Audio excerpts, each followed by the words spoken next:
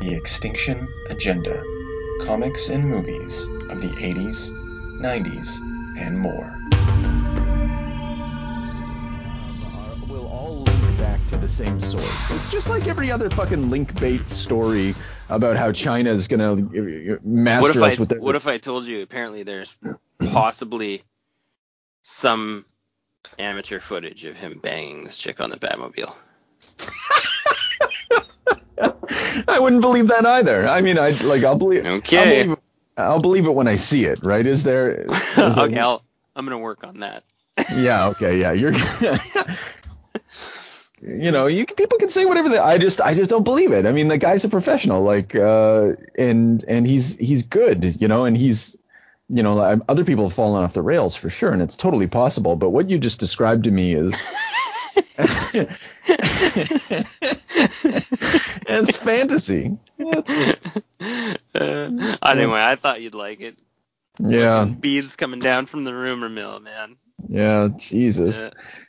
Fucking. Uh, that's. Uh. Well, you know what? I kind of hope it's true. It'll be a great movie. It's gonna. yeah, yeah.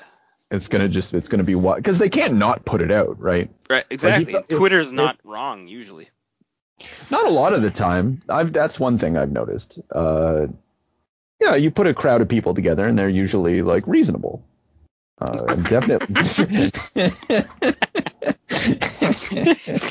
that's good. Oh. All right. Well, that that's your that's your that's your bullshit rumor mill for the day. I took Okay, it deep, well- took it as deep as it could go there. Yeah, no, I appreciate that. That's uh, well, that's what we've come to the X-tinction agenda for. Uh, for uh, up to the minute, Hollywood updates. Um, so so yeah, welcome to the X-tinction agenda, everyone. Uh, with uh, just James and James this time, and uh, today we're we're doing a little, we're going we're going modern, something hot off the press. Um, although Yeah. it's although it's actually from 2012 uh, like the original originally published 2012 Grande Odalisque um, by Bastien Vives, uh, Jérôme Mulot, uh, sorry, uh, Florent Ruppert. I'm just gonna call him Moulin Ruppert from now on, and uh, yeah, published by Fantagraphics, 2020 uh, or 2021. I mean, like, yeah. Anyway, and I saw it in the new releases. I saw that picture. I saw her falling through the skylight or whatever, like the the you know what what looked to be like a a cat burglar with a rocket launcher falling through a Bazooka, a- yeah. yeah, yeah, uh, into like I don't know, just some sort of courtyard, and I was like, that looks rad. That that looks fucking fun, and uh, I bought it uh, sight unseen, and uh, turned out turned out it was actually from a, a group who did another uh, a big book, uh, Portrait of a Drunk, but they did a different work with um, different collaborator or whatever, and another another beautiful book from Fantagraphics from last year. Uh, b- big book for them. Anyway, so uh, I I thrusted this book upon you, and and said, got to read it. So uh, how'd you feel? Whoa, I loved it. It's awesome. Hmm. Um, yeah. Uh, first thing was the. I mean, the first like notable thing is the is the art's outstanding. I don't. Uh, I can't quite put my finger on it. I don't know how they're how they're putting this together. Like in turn, like I mean, I can see how they're putting it together, kind of, but I don't know if it's like Mhm. a paint, if it's painted, but it doesn't seem to be like computer coloring. It might be, you know, I don't know. No, and I I thought about that too because like with this is like a true collaboration between three different artists. Like a lot of the art, um, so the Mulot and Ruppert guys they work together all the time, and Bastien Vives he's uh he's this whole he's got his own little thing going, and they're kind of hot hot you know creators in uh, in France and you know so you don't you don't have your assembly line writer artist inker colorist, all that shit, you know, and so you don't know who's doing what, and you don't quite know what they're using. You know, th- this I feel it's computer just because some of the gradations, some of the ways they're able to to make it, you know, go from dark to light. At the very least, maybe there's some computer touch-ups, but I, I could totally be wrong about that. Yeah, yeah. I mean, it, it honestly, it looks, it looks almost like, like watercolored almost to me, but, but Mm-hmm. I, I, like, I, like you said, I couldn't say. I mean, I can see that there's like ink, and I can see there's like heavy like um. Well, there's it's funny because there's almost like a lack of detail. Um, It's um it's almost like a silhouette thing. It reminds me of um. Yeah, it reminds me of this old video game. Um, from the 80s or whatever. Yeah, I'll get back to you on that. But um, the uh it, yeah like the, there's like a there's just like a little bit of a lack of detail but there's also like sort of like an architectural uh sort of like like thing like the the, the artist like team really like really takes their buildings seriously and their and their landscapes uh, seriously um, Yeah. and, and that that like filling in that background noise for the for the book you know is is is a big deal i mean that's part of what what kind of makes you like like really like get involved i find Yeah. Yeah, it even opens up like it's it's before you even meet the characters. It's uh, so I guess for anyone who hasn't read this book, because there's going to be lots of people who haven't. Um, uh, this is this this is a story of uh, three or or two sexy lady cat burglars uh, in uh, in Paris, uh, and uh, which sounds really you know fucking uh, lame. It's a heist book, and it's a cool fucking heist book. Um, and uh, you know they're out to the to rob the Musée d'Orsay, and later on the Louvre, and uh, fucking chaos ensues, and uh, it opens up.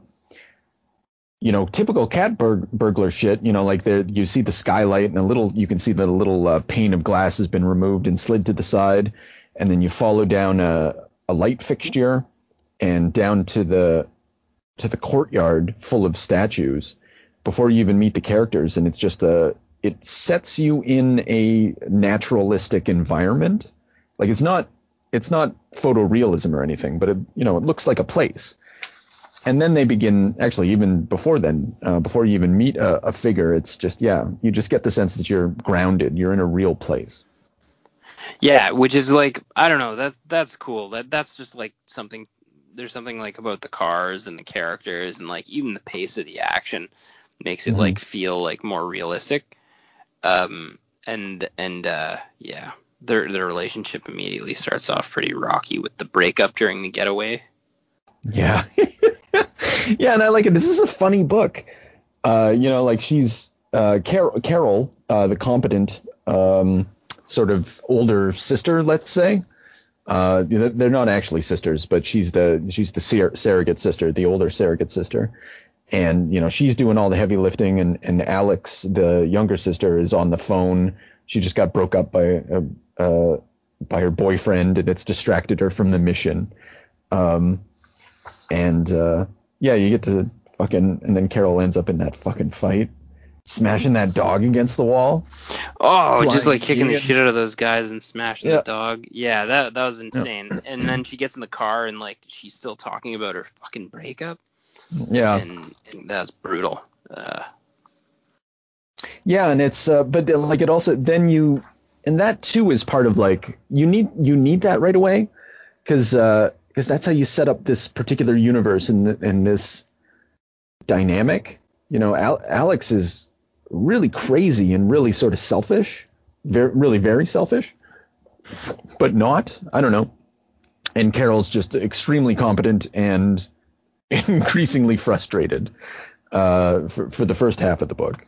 Um, yeah, and it's also like I guess that's that's that's that's a cool part of the narrative too is that like you initially um you start off and you think oh my god like if she she takes another job with this fucking idiot um like she's gonna have a hard time especially Yeah. if the job's gonna be more complicated than the previous job Yeah, but then uh, so you know we, we don't need to go over the the whole thing, but the you know what changes her mind and and what I think it's one of the reasons this book this book has a lot of heart. Um, you know, despite its really simple plot and and really cinematic heist movie cliche aspects, is um that their their gun runner slash potential drug dealer, uh, you know, he gets caught by the cartels and Alex just decides like spur of the moment, you know, we're going to Mexico and we're going to save that guy. And and Carol is watching her pack and she's all frustrated and she's just watching her and it's in that moment where she remembers why she and it's just one little scene. You just there's no words, but you get the impression she remembers why she loves her sister in in crime, and then uh, and then it's a little more lighthearted after that, and then you're like, you know, you understand more of the dynamic, and and it just becomes richer all of a sudden. Yeah, it's true, and and it's there's there's like there's more um I don't know, there's just like a nicer um uh like you just you feel the relationship a bit more, like you feel like there's like there's some kind of like passion that the um I can't even remember her name. The redhead. Carol or Alex? Oh, the redhead. Al- uh, oh, well, Alex is the redhead. Yeah, Alex. Sorry. Um, but yeah, there's just like something like th- that's where Alex kind of starts to grow on you when she decides mm. she's going to go back and save that guy, and you think, and then she just sort of accepts that, like, yeah, let's do that, you know, and then you yeah. think, oh, maybe you know that's just like part of the thrill thing for her, is that like that that's that's her friend that like sort of brings like energy to life, mm-hmm. You know, rather than just being, uh, you know, existing. Yeah, I guess that's true. Yeah, um, I, I, I, that's definitely the dynamic. Um, and it's uh, it's what she becomes the motivation for everything that they do. Like if she's if she's robbing the Musée d'Orsay, it's because she thought Alex. If Carol's doing that, sorry, she, it's because she thought Alex thought it was a good idea. You know, Carol's not really the boss until she's she's the boss after the decision is made to take action. So so Alex Alex is the intuition, you know, just like okay, we're doing that, and then Carol has to figure it out. Right, right, right. And she'll work, yeah. she'll work, she'll work the angles, and she'll get them through to the other side, right? Yeah, yeah. Um, fuck. I love that scene where um, they're uh, you know, and this and this gets to to the the teams, just their pacing. Like they just know how to pace everything perfectly. Like when the girls, when Alex and Sam, the motorcycle girl, are in the pool, and Alex gets out and she pretends to shoot the guys with her fake gun, and then the guy's head fucking explodes. Oh uh, man, yeah, I didn't like that. That's because that's from the that's from the losers, man. Oh, I see. That's from uh that's funny. Yeah, oh, there's oh, even from... even the remake of the movie with uh um oh, what's his name? Chris Evans and uh, uh, oh. Harry Dean Morgan. Uh, they do. Uh, they he does one of that where where he does it poof poof and their sniper pops guys behind him. Right, right. And, that's uh, uh, that's okay. It's okay. It's like yeah. like you say, this is cliche. There's a lot of like action movie knockoff stuff. The the the the crotch rocket, you know, the it's just very like Mission Impossible, you know. yeah, yeah. Uh, I forgot that the losers got a movie. Sorry, I guess that's why I was I was dumbfounded by what you said. Um, I forgot about that completely. That's uh, that's cool. Good for those guys. I kind of like that book. Anyway, that's a different conversation, but. Uh, yeah. Anyway, uh, fairly competent move, action movie too for the time. Okay. All right, that's good. That that deserves that. Um, yeah, but I guess moving from that, like the the action in this book fucking rocks. Um, and and I guess it brings me to, you know, what what frequent listeners will will often hear me say is like, why why am I reading the best action comic that I've read in so long in a Fantagraphics book? W- you know, like how how is this happening? Um, and and why can't you know like I don't I don't need the the the big two guys. I don't need mainstream comics or image comics to to produce great action books, but I would it would be, it'd be nice if they did. Uh, and you know, and if they look to to this book as an example of of how to do that, just like picking the right moment in a scene so you get the maximum like you get everything out of it. Um, uh, I'm just looking at this scene where they're they're scaling up. Uh, Sam and Alex are scaling up the side of a building, and they've just like tricked this fucking guy to lean over the edge, and they've pulled him, and he's like, oh, um, and there's no sound. Oh yeah. yeah. No, there's no sound. It's just like, but it, it's just a really nice. Um, that scene is just uh, I, I know the scene you mean, but it's mm-hmm. just like it, the physics feel uh spot on. Mm-hmm. Yeah, Actually, it reminds me of that time where uh, um, I can't remember who, if it was Arnold himself that pulled a guy out, out of a perch in the first Predator movie. Oh Uh, shit. Okay. Ren- rendered very much like that scene. Always makes me laugh whenever I see it. Uh, Yeah. I think he, of course, jams a giant Bowie knife into the guy's chest while he does it. well, you want to make sure it's done right, right? But yeah, uh, yeah, you got to keep it quiet. They're, They're, uh, they are on a cliff face uh, over some water, so right. I guess they can just let that guy fall down to his. Honestly, doom. these guys end up being brutal mercenaries, very similar to the Predator team, also though. Oh, yeah, Uh, that's true. you know. Also, I'm sorry if you shot Yeah. giant tranquil- tranquilizer darts into people's foreheads, they would die. They would all die. I was thinking that. I was thinking how mean this fucking book is. You're a Um, mass murderer. Yeah.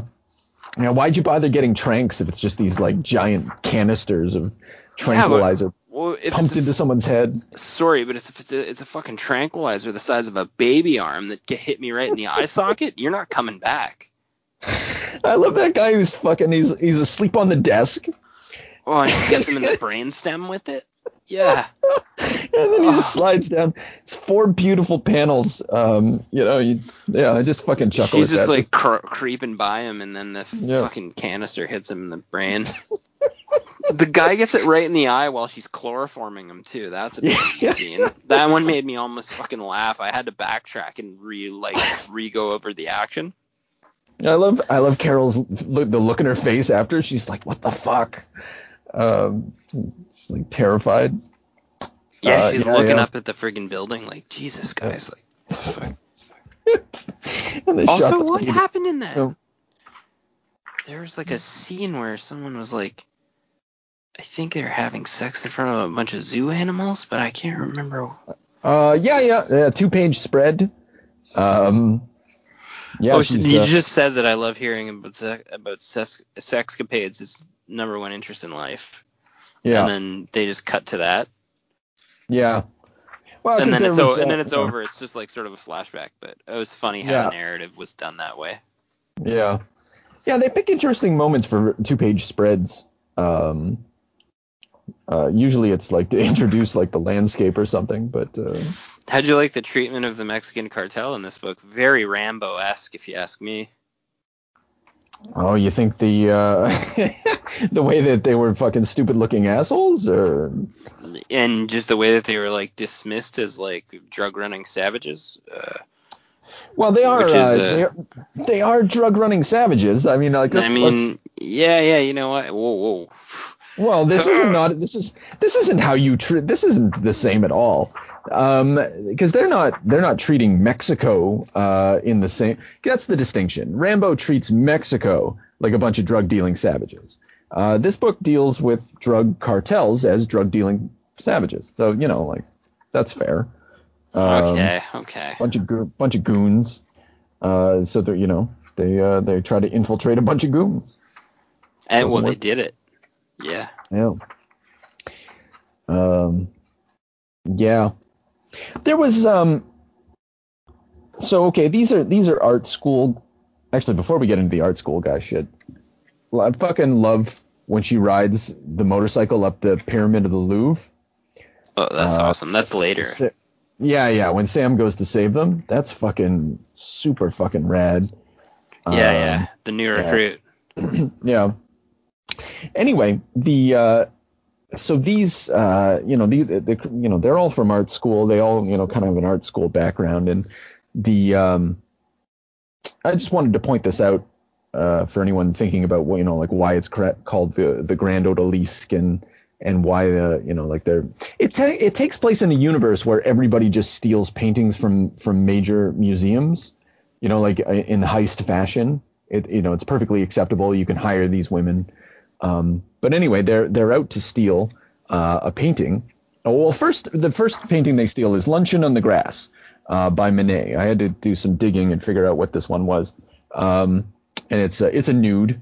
So like basically like they're always contracted to to steal female nudes and highly influential female nudes um, which are uh, you know well I don't have to say, you know, it's all part of the, the male gaze. You know, it, it, it's something about the art world fascinated with sexy ladies, and so uh, you know it, this is this is the artist's kind of um, I don't know commenting on that, commenting commenting on on the and and at the same time participating in it. Uh, you know, as if to, as if to say, "I'm sorry, I know what I'm doing uh, here is is you know typical of Western art, but uh, I like to draw sexy ladies." Well, it's got like there's undertones of other things. Like it's um like all the all the ladies are, are very sexy in this book, and also there are scenes that that like lend to that. Um, Yeah. That you're constantly like fascinated by or excited by as you go through the book, and Mhm. um, the um, but then there's like there are, the funny thing is that they're all they're all heterosexual, but there's undertones that they have you know that they're all they also have their own intimate relationships as well um, Yeah. that they're like openly bisexual or and that's not like explicitly stated but um, it, they seem to be very loose with their sexuality which is you know also lends to the that being a you know Yeah, whatever. yeah, yeah. No, a no, they're likable theme through the story yeah, yeah. yeah, they're they're globe-trotting, adventurous, sexy, fucking ladies. You know, like they, uh, yeah, yeah. It's just, um, but at the same time, you know, and one of the things you find annoying about Alex, but is also super appropriate for her, is like she's always thinking about men. She's always concerned about them. You know, like it's like she wants to fall in love, or she falls into sort of like puppy love with men all the time. Uh, but at the same time, like she doesn't need any of these fucking men. You know, she just she just kind of falls into these obsessions and then no, discover- they're yeah, they're dismissed. Like Yeah. and, and that's a running theme in the story too. The the the male the male any any male character is sort of a background character, which is cool, which is is cool too, because that's what makes them that's what empowers the the female leads to be like so strong and competent is that like they're they're running their show, you know. yeah, yeah. Um, yeah, and also they kick fucking ass. You know. yeah, they kick uh, the shit out of everybody. Actually, the and and their constant ass kicking and and super competence and proficiency is what makes the the end scene where Alex gets the shit beat out of her so fucking anxious. That's true. Yeah, like I actually that- I yeah. actually was like I didn't even uh, I wasn't even meaning to read the end of the book. I was just Mhm. meaning to flip a few pages while I was sitting on the couch a little earlier, uh, and um, I uh, uh, that scene started happening, and I freaked out and read the whole book because I was like, "Oh fuck!" She got hit with the fire extinguisher in the side of the head, and I flipped, and then I then I blasted right through the whole end of the book. That was it. Yeah, is she- are they gonna save her? Uh, yeah, like how's yeah. she gonna get out of this one? Because she was done. Yeah. Yeah, and then they have to like bust in and get her, and yeah, it turns into kind of a rescue because they never succeed in their mission. They don't succeed in the second mission to to get the Grande Odalisque from uh, from the Louvre, and uh, they just get out with their lives. And and you know, and this gets back to their um. That's interpretive. I don't think that. Uh, Well, they didn't get the painting. I mean, no, I. Uh, what's oh man, what's the blonde girl's name? Carol. Carol. Carol doesn't get out with her life, man. I didn't interpret it that way. Uh, that's fair. That's totally fair. Um, there is a sequel to this that has already been published in France. Oh, you cheating bastard! I, I've I haven't read it, um, but even at the end of this, it says the girls will be back in Olympia. Uh, gives it the James Bond treatment. very Uh, but you cool. gotta- very cool. Yeah. Yeah, you got to flip right back to the end, uh, like like right before the credit, the end credits, um, and then it tells you. But anyway, but I uh, thought yeah, that I thought that She she got good. peppered, and I thought she got peppered by the machine gun a second time, and felt like that was the end. But right. oh yeah, Well, Carol, Alex, and Sam will return in Olympia. yeah, yeah. Oh, So I don't know. I don't know how that goes down, but we're gonna fucking check that out. Yeah, Uh, awesome, awesome. I like that. Um, I like that there. There's a theme within. Um, I, I don't want to call it indie comics. Let's call it art art comics, in, especially in in Europe. Uh, it's it's safe to call it art comics. Like there's always been um, um, a sort of a you know high art sensibility to it, I mean, there's you know Tati and uh, uh, or, or Tardi, sorry, and, and a bunch of you know like there's people doing genre work. There's people doing sci-fi. There was people doing crime. There was people doing all sorts of you know genre work within uh, uh, European comics, but there's something amongst the the people who used to be doing art, like with a capital A, or trying to. There's there's a small subsection of those individuals who I think it's as a part of a reaction to art comics are making action comics, who are making like story, you know, stories like this, um, you know, f- fun because uh, Bastien Vives, he's he's also got like a manga, like a like a Dragon Ball Z maybe kind of manga. Um, that's overselling it, uh, you know, but it's it's combat related with training and that sort of thing. And I I don't know, I don't know what it means other than they're just like I guess they're just trying to say that comics can be fun again. it's well, yeah, and I mean, like that's just it. Like the little, uh, the little theft of uh, whatever, you know, however you feel about that, um, of of like little tropes or little little like you know kind of action ripoffs from different shows or whatever. That's like that's like acceptable. I mean, like, and if you think in think about it in terms of movies, like it, it's acceptable in Fast and the Furious. It's acceptable in Transformers. It's it's acceptable like across the board in a, in rock movies, whatever. You know, mm-hmm. like it, that that's okay, man. It's okay to have a fun action movie and like borrow ideas or cuts or whatever, and and still tell your own story. And and I mean like that that that's almost like cool. Uh, it's like sort of a nostalgic throwback sort of technique. You know, I don't know. No, I, and I was I was reading an interview from 2012 uh, from um, not not Vives, but from uh, I put their fucking names away, Ruppert and uh, Bolo, and they were uh, at that time they were they were trying to do something more like comic strips, like they're within the indie tradition. Uh, uh comic strips are huge, you know, like old timey comic strips, like Charlie Brown, Little Orphan Annie, um, you know, and I'm sure that it's much the same in uh, in in France. And and they looked to the techniques of those old comic strip artists when they were creating comics. They were trying to bypass the fucking garbage that came in between, and they were just like, let's get back down to some cartooning. And I wonder if like maybe that's what this shift is about. Is that like they're like, okay, well we've explored Little Orphan Annie as much as we're going to explore. Let's start bringing in some movie stuff now let's uh, you know let's let's start bringing in some manga. Let's start bringing in um, you know other bits and and just uh, open her up more. And I you know I don't know. It was just a thought I had earlier today. I don't I don't know if there's anything to it, but mm. hmm. yeah. So I don't know, man. I fucking love this book. It was uh it was a real treat. I you know yeah, I, I agree. I I just yeah. thought it was fantastic. I the scenes like like I don't know. There's just like certain scenes like their arms dealer like crouched down in the woods with his little briefcase like waving to them and stuff. Like I can I can see that guy in real life.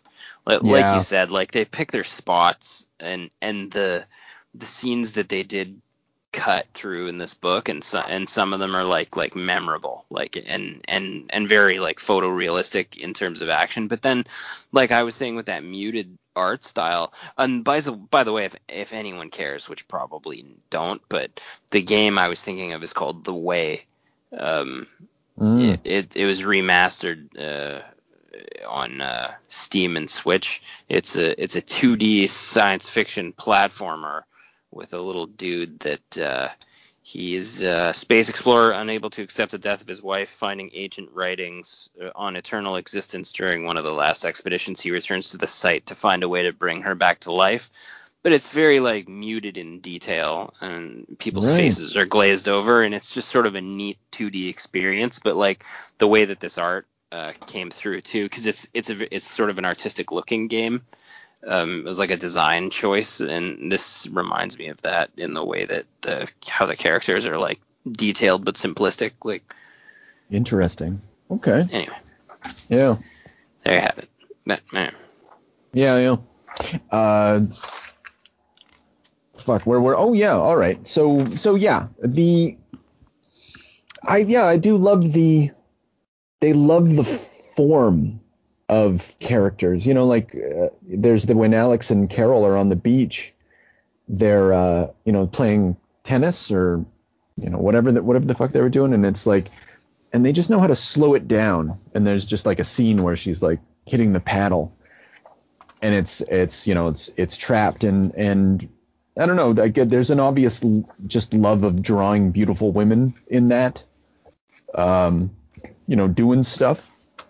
And not that that's anything like the video game you're describing, but I'm just like, yeah, there's there's there's just love a lot of love on the page, um, a lot of interest and passion, and uh, yeah, man. All right, what do we uh, what do we want to score this thing? Want to? Oh yeah, I mean, I'm I'm uh, I mean, I'm comfortable right around an eight out of ten for sure, even maybe more, eight and a half out of ten. Yeah, I wouldn't want to like actually. I don't know. I'm. I mean, I don't know how I'm gonna feel. Um, a month from now, two months from now, but right now, like I'm in love with this comic. I'm gonna give it a five out of five, a ten out of ten, uh, whatever. Yeah, there's uh, a clean. There's just something so clean about it. The the, the panel layout, the the sequential art in conjunction mm with the writing. It's not too heavy. It's not too light. Um, it's a it's a it's a it's a one of a kind for sure. I think. Yeah. Yeah. Well, it's definitely like uh, we we haven't encountered we haven't encountered this before. The um, yeah, it gives you something to think about too. You know, like uh, like uh, it's interesting that they're that they're stealing nudes. You know, like and, and it it definitely gives you know places it in a context and and makes you want to think about it. You know, and and why are they stealing these nudes? You know, for these rich for for the art market. Uh, it, it, like this book doesn't exist without that, you know, and it's it's just in the, you know it's in the background. You don't you don't need that shit, but it's there. Also, uh, hilarious detail. Yeah. Uh, not yeah. you feel free to cut this if you want, but sure. um, there's this this this uh, magical moment where uh, Alex squishes Claire's boobs together and just buries her face in the boobs. This is uh, yeah. clearly what the audience uh, wants to do for the whole book. If you're me, and then this is also displayed on page 69. not sure if you noticed that. Oh, Very funny. Wow. Uh, not sure if deliberate. Buy that for a dollar.